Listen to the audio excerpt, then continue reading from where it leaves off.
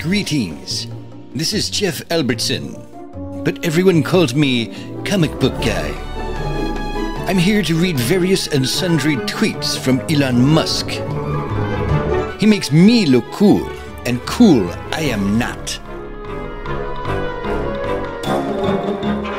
I don't read the legacy media propaganda much anymore. It's a waste of time and a sadness generator.